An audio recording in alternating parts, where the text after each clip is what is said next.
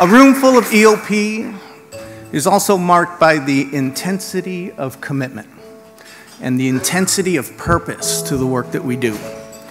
And not just the work that we do, but the outcomes that we strive for in our efforts.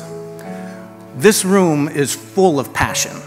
And where does that passion play out? It plays out right here, right now, at the EOP 50th anniversary, 2019.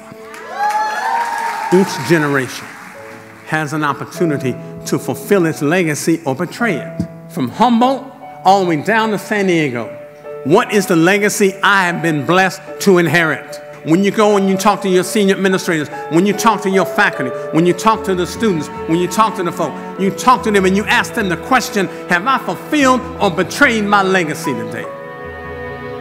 And if you can do that, then we would never settle for the condition that we are in educationally in this state as we sit here today. EOP is not just that place where we come to get some momentary comfort, where we come to feel good. They got some coffee and hot chocolate for you when it's cold outside. Heck no. We come to get you in, get you through, and help you thrive when you get past. Why? Because you got work to do. You got a debt you owe. And let us celebrate the sacrifice that all the elders in the EOP program made so that we can occupy this sacred space in time. EOP opened up the opportunities and the gates for people who otherwise yes, would not have been admitted. And it was not admitted not because they weren't the smartest or the most capable, but they just were not given the opportunity. And that really has drove me to kind of continuing to see EOP as a focus for if you give people the opportunity and the chance, then they can take it from there. But we have institutions that deny that opportunity, and it's for up, us to us to open the doors to make sure that opportunity is given to others. The Educational Opportunity Program brought to my life hope, a feeling, but also a way of life. A way of life that illuminated paths that I long traveled in darkness.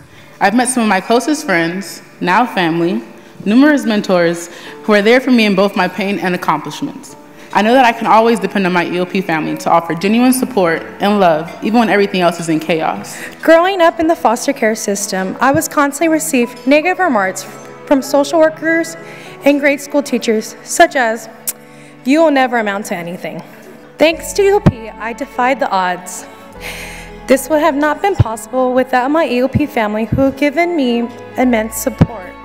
EOP has become my family that I never had.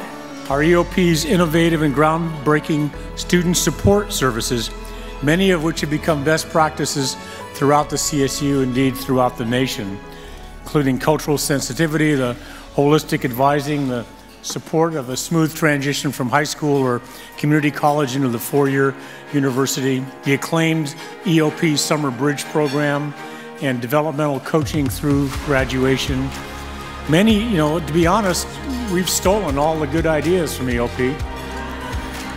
So we're going to rename the, the uh, GRAD initiative.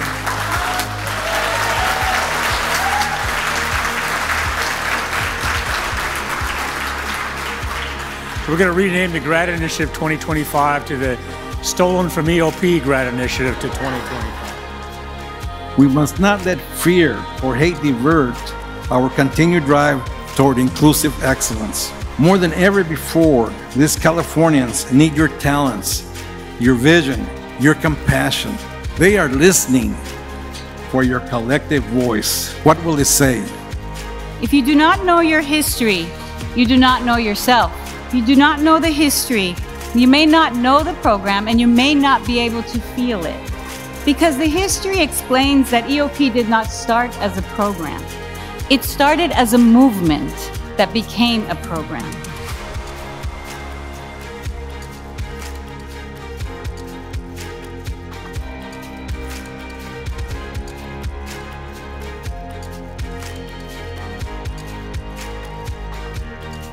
The California State University Educational Opportunity Program, EOP, 50 years of continuous improvement, opening doors and quite literally changing lives. It was back in 1969. Now, many of you weren't even born yet.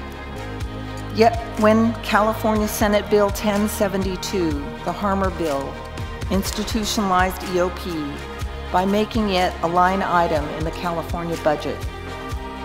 Since then, thousands of students' lives have been changed for the better because of EOP. EOP has given me everything from long-lasting friendships to amazing mentors that you can see here right in front of me and a great deal of support. Once I got involved, I just started to flourish and grow uh, spiritually, mentally, and physically. But most importantly, I built meaningful relationships. Relationships with people that not only wanted the best for me, but they wanted the best for themselves and they wanted the best for their community. And I know these relationships will outlast graduation into my career and throughout my life. I am EOP.